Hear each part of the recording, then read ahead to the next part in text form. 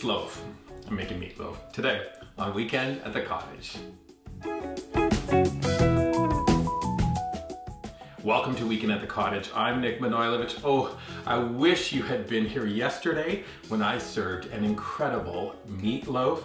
I want to review it with you. It is such a fantastic classic recipe, perfect comfort food whenever you have people coming over and you need to serve a hearty meal. Let this meatloaf recipe be it. Now, I do this recipe a little bit differently. I start by prepping a whole bunch of vegetables. I'm taking the classics, little bit of garlic, I'm taking some scallion, I'm taking some onion, carrot, and celery. I'll list all of the quantities at Weekend at the Cottage on the recipe. I take those ingredients, place them into a food processor, and then I pulse to finely chop them. Now we head over to stovetop. I'm taking a large skillet, melting two tablespoons of butter, and I add those chopped vegetables in. We're gonna cook them down, cover, and let them get nice and soft. Once they've cooked down for about five minutes, we're gonna add some serious flavor. Two teaspoons Worcester, meatloaf game changer, one tablespoon prepared horseradish, add that in, two teaspoons of kosher salt, one and a half teaspoons of black pepper. Then I'm adding a third of a cup of ketchup. We're gonna stir this together for about a minute, let those ingredients cook, then take it off of stove top and we need to let that cool completely.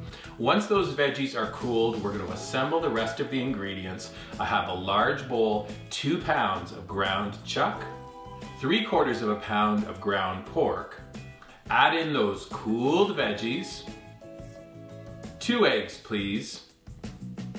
Three quarters of a cup of breadcrumbs, and yes, this recipe works really well if you want to add a gluten-free version of your favorite breadcrumbs. We're adding a quarter cup of finely chopped parsley, as much for color as for flavor. Yes, you could stir this together with a spatula or spoon, but why not just wash your hands, hands go in, and you're able to feel the texture of your meatloaf come together. Transfer the mixture into a shallow baking dish, form it into a loaf. Good time to turn our oven on at 350 degrees to preheat, and then I want you to do one final thing. We're gonna take two tablespoons of tomato paste, a third of a cup of ketchup, stir those ingredients together, pastry brush, and then brush the top and sides of that meatloaf with your beautiful tomatoey mixture.